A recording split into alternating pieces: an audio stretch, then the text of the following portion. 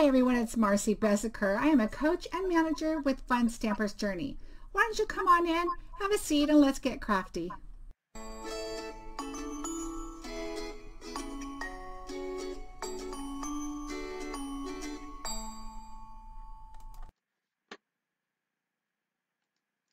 Hi everyone, it's me again. So I just did the gel press um, class and or not class but video and I wanted to kind of see what I wanted to come up with with the rest of my prints. So this is the card that we just did on the video with, we used the heart gel press. And then here are some of the prints I cut down. And I have some extra pieces for other items, but th these are the ones that we have here that we did. And this one here. So what I did is I'm going to take this one here, and it's the pretty kind of pink, pink one, and I'm going to send it to my granddaughter. And so what I want to do is find a, I was going to do it on white. Yeah, I think I'll still do it on white. So what I did is I took some of our mirror gold paper, and I'm going to put it as a frame. Of course, I cut out the middle part because um, I don't want to waste the gold mirror paper. So what I did do is I cut this heart out of the center part. And this is the medium size heart to this set, decorative heart dies. Again, not glare. Decorative heart dies. Okay, so that's what I used for this, and I used the medium one. And of course, for the rectangle that I cut out, I used our Journey rectangles. So it's right here. Okay, so that's what I used for this.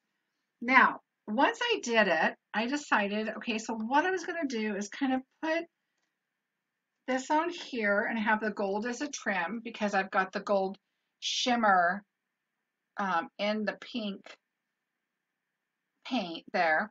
And so but then I thought this heart looks really, really big. So I kind of don't want it that big. So what I'm going to do is cut off the scallop part around the outside. So carefully, I'm going to just snip that off so that it kind of looked like it wasn't even there. And I'm going to tuck this heart anyway behind some of our gold and neutral twine. So I might have to fix some of the little edges a little bit, but it'll be easier once I get the scallop off. So I'm just going to kind of try and get that off. And let me switch. You kind of see what I'm doing here. So I'm just cutting this part off here. Okay, so I'm snipping all the way around and then I'll try and smooth out those little edges to where you won't even tell it was there once I can get the scallop off because it's kind of hard to do it while it's right there. Okay, so there it is. But look at that. You can clean this up a little bit and use it for something. So of course I'm not going to get rid of that. Okay, so I'm just kind of feeling with my finger and seeing a couple little spots.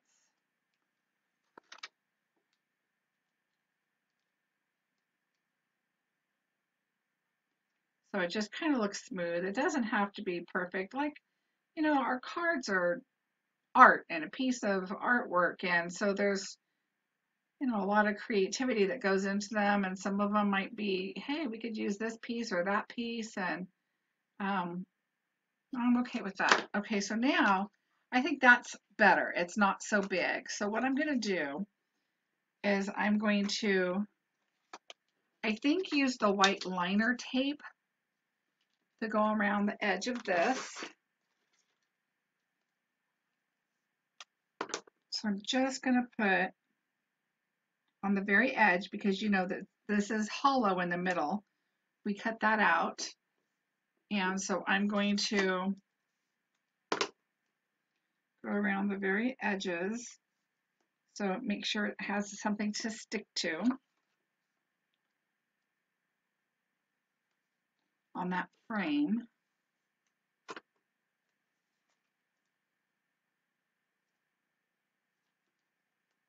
And I'm using this because the glue, I don't think I don't think it's going to hold as well as quickly as I want it to in a video. So I'm going to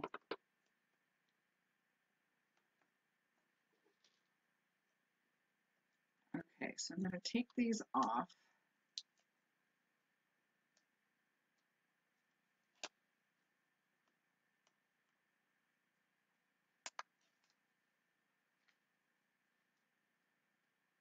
And then that way, I went a little over on a little tape there, so there we go. So now I'm going to attach it here so it's on this surface so I can peel it back up if it's not exactly what I want. But I think that's going to look good. There we go. All right, so now I have that. So again, now on camera, the last time I didn't do such a good job keeping my hands on camera to show you my ribbon, my bow, what I did. So I'll show you now.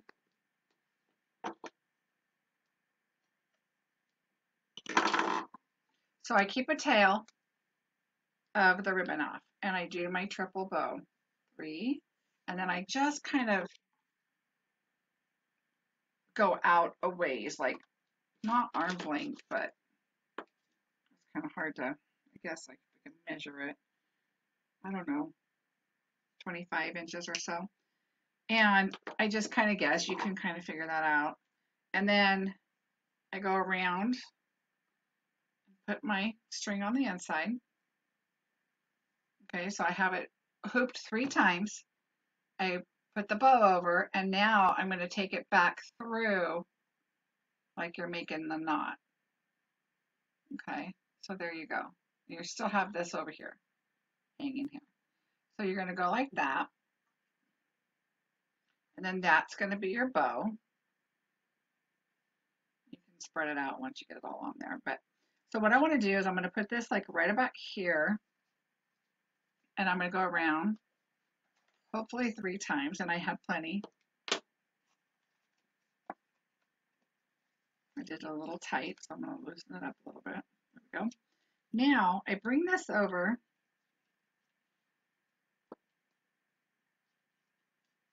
And make sure all your strings are lined up.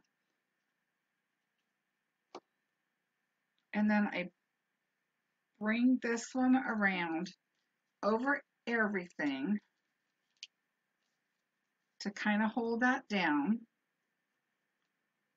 And then I tie this in a knot.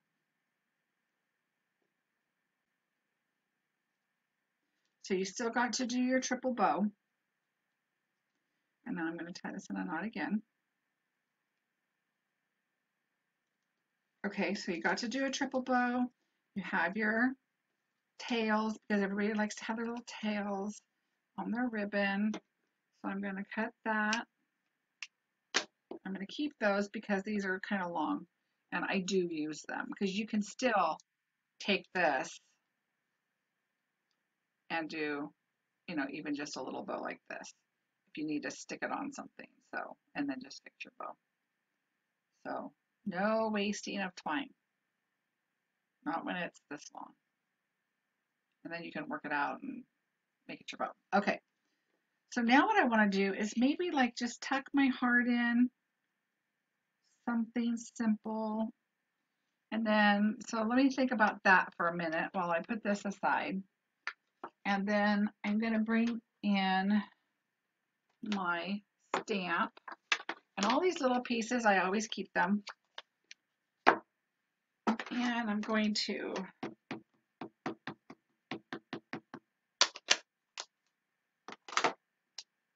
do this. Stamp my stamp. Oops. Let's see, I kind of, I kind of did press hard. Let me see. Yep, not going to be a problem, I don't think.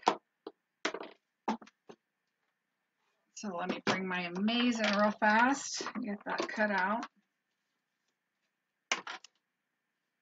I love my Amaze machine. I love my Platinum. It's big enough to take care of everything I cut. All of my steel rule dies, everything 8.5 by 11. Love it. But you gotta have an Amaze to move around and use for classes or videos or just the smaller things that you need. And there we go.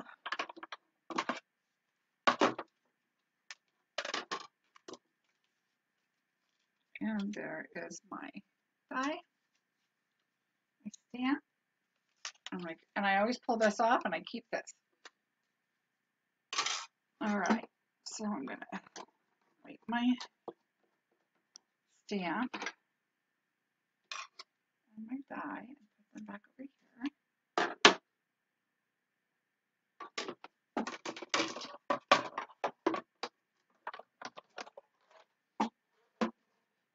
Okay, so now bringing the card back in, deciding what I want to do.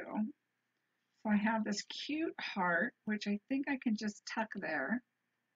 And maybe the sentiment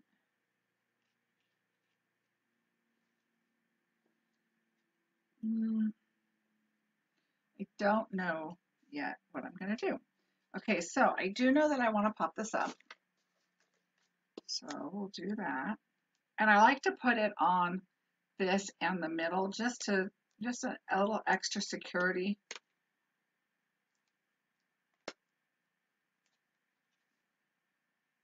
And this doesn't look like it's warped or anything with all the paint, so I'm not going to need one in the middle.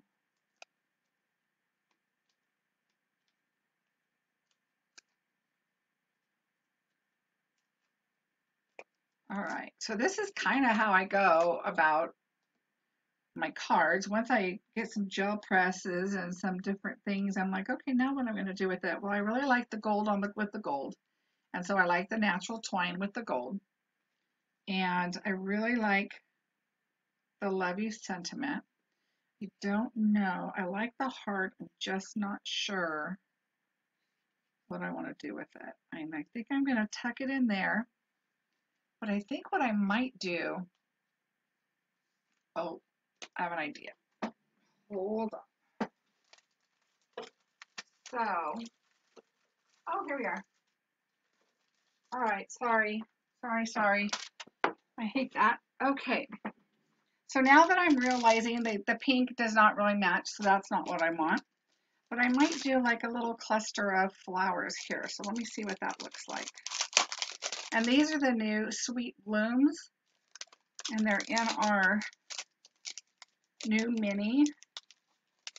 So I could do, there's a couple different kinds of flowers. So maybe, mm, I don't know. Maybe, yeah. Maybe just a cluster of three. That's kind of cute. With a levia on there with some flowers and a, hmm.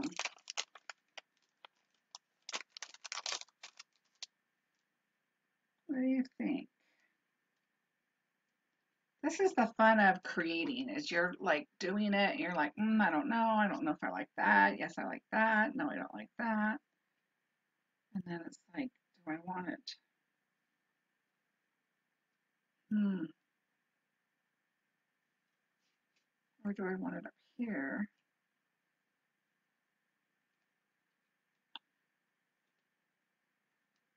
Well, I don't know what I want. Kind of like it tucked.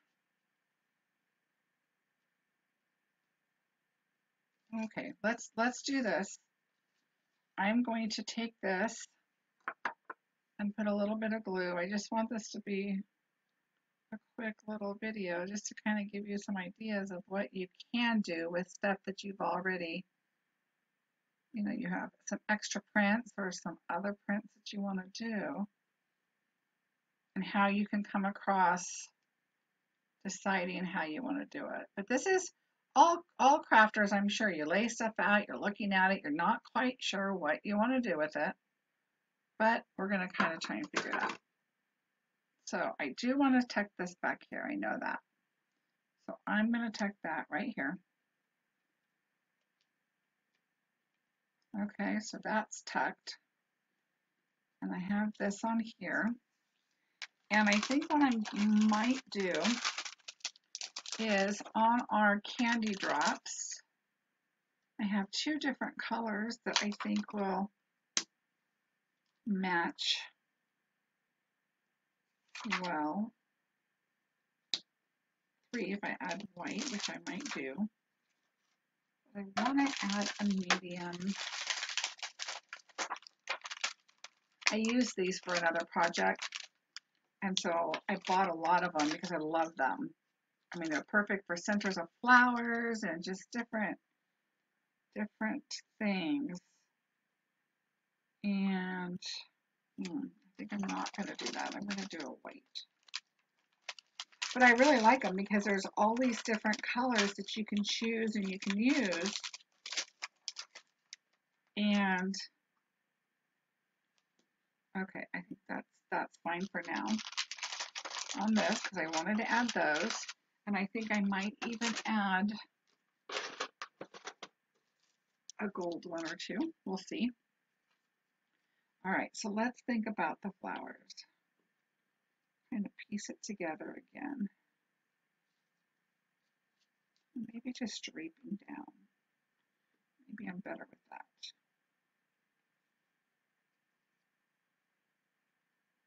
Okay, I think I'm okay with that. Let me see. All right, so I think I'm going to put the larger ones here. And then I'm going to, I have a half of one here I can put. And I'm going to put a half of one up here. All right, so let's put this together. Sometimes you just have to put it on there and just hope for the best and think that just because you think it doesn't look good or it's not exactly what you want, but once you put it, all right, so what I'm going to do is add some glue there, some glue right here, and maybe some glue like right here. So they're kind of cascading. So those will be drying.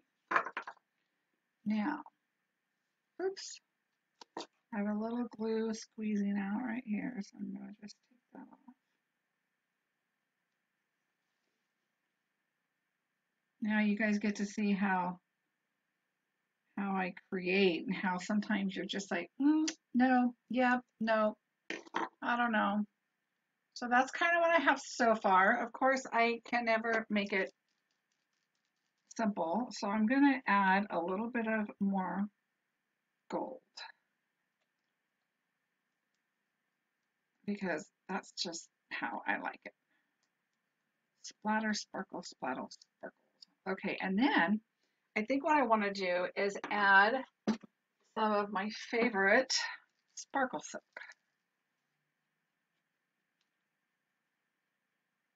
And I'm just going to add that on here.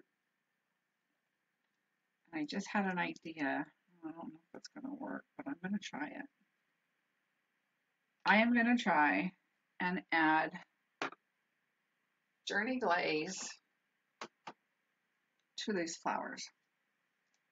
Normally, if I add it to something like this, I do it ahead of time and then glue them on after they're completely dry. And I don't know if it's going to work on these little fabric flowers, but we're going to try.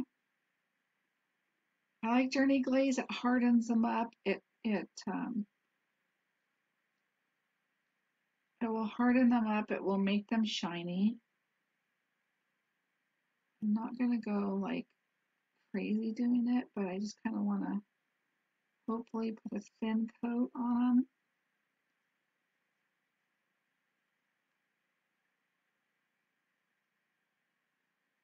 them. Okay. My head, sorry, my head's in the way. All right, so now I decided I'm going to put some Journey Glaze on them. And this one's still moving around a little bit, so I'm going to poke it in the middle so it stays where it's supposed to be. And, and Journey Glaze is also glue, so it's going to glue some of these down and see how the glues kind of run into the middle and, and that's okay because I'm going to put some sparkle on them. And so you're not really going to be able to tell that they're all running to the middle, but that's why I kind of like normally doing this before I put these on. So that they're kind of laying flat and they dry completely, but that's okay.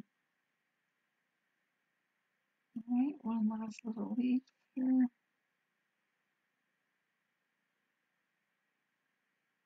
All right, let me take a look, see if there's any place I missed.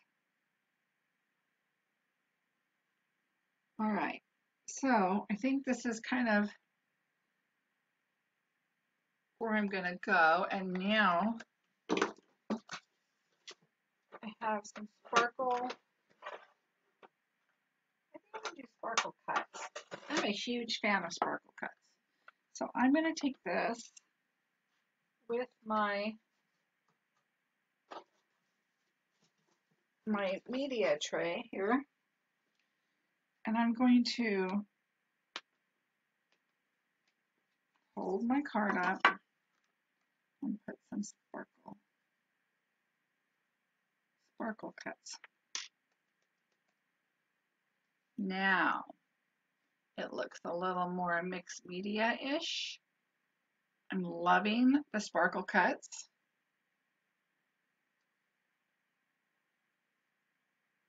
Oh, that was fun. Okay, now I could I could add some silver, uh, some little silver stones on there. So let me let me put this away, and then take a look at some gold on here. Did I say silver? I meant gold. Let's see what it looks like. I don't want it to be, I say I don't want it to be too much, yet I keep adding stuff, and I know that's just how I roll. Um, add a little gold there. Maybe another one like tucked in the flowers. Here. There. I like it. All right. So there I am going a little crazy, adding and adding and adding. But this is just came off the gel press. I did some color. I wanted red, which I finally did end up with red. Um, this I added some red, but I added some white uh, whipped cream for inker. And so that came out a little too red for me. I mean, too pink for me for what I wanted. And so I changed it up. And so, but I really liked this color. That's just, I already had a card base ready to go. I already, I already had it red and that's kind of what I wanted to do. And, but I really wanted to do something with this pretty pink one because it has the gold in it and the flickers. So let me see if I can swap this out.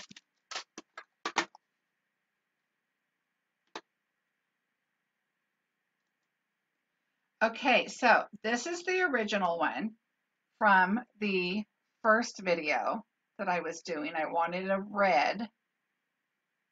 And but in trying to get the red, I decided I wanted to do some white and some red mixed and I thought it would come out a red but not quite as light. And this is um I well if you watch the first video, you'll see I added some pink and some sweet berry and I just kept going until I kind of got what I wanted. But in the meantime, this is what I got and I really love this it's kind of an opalescent pink. It's got some some gold pearls in there and shimmer and I just really really liked it.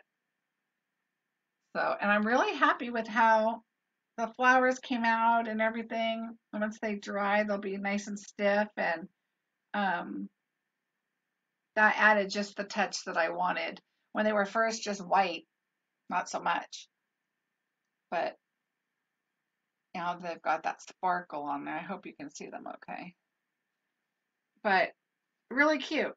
And I could, because I'm me, I could gel, um, do some glaze on the Love You and have that really pop too, but I'm not going to. I really want the, the flowers to kind of be um, that focus there, but the hearts. And so anyway, so that's the second card, press gel press number two that I ended up doing. And I don't know my glare. I'm never going to get rid of this glare. I'm sorry. But here it is. You can kind of see the, the different color opalescent TE colors on that one. And then again, the original one. So that was fun.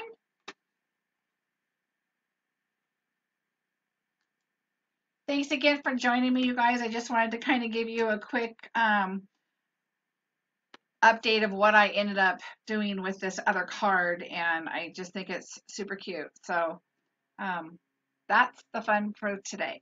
I will talk to you soon. Thank you so much for joining again. Please like and subscribe. You can see my future videos, and I would really appreciate it. If there's a product that you um, have seen with Fun Stampers Journey and you want a little bit more information on it, or would like me to do a, a demonstration on it, just let me know. It below and I will uh, get into uh, that and get a video ready for you.